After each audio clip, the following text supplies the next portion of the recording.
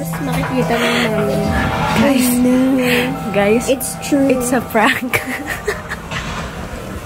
Ay, ang galing. so, pupuntahan natin si Mami kasi pinrang ko siya na hindi ko talaga makita yung charger. So, puntahan natin siya. Habang hinahanap niya yung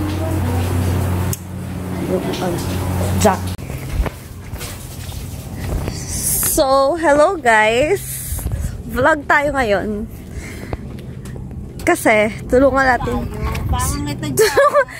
Tutulungan ka na nga namin maghanap. Tulungan natin si Mami maghanap. Mag-hi ka kasi ikaw to. Hi. Anong hinahanap natin? Yung ano, yung charger. Wait, lipat ako sa kabila. Ano? So guys, medyo madilim dito kasi punta ako sa loob ng sasakyan. Tapos, tulo, sa, kasi nung sinaksak mo ba, saan mo nilagay? Kinuha ko sa bag, tapos inalis ko, tapos sabi ko kay Dana, isaksak niya. Oh, si Bebang palik. Eh di alam niya kung nasaan. So, hanapin namin yung Baka jack. nalaglag na. Um, natin. So, yun again, guys. Hinahanap namin yung...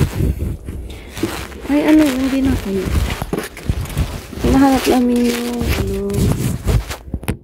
Wala. Ikot ng camera. Diyos ko, hilo na, hilo na. Ayan, ganito na nga lang, guys. Hinahanap namin yung hilo jack. na. So, saan nyo ba nilagay? Dito nga, tinanggal ko nga.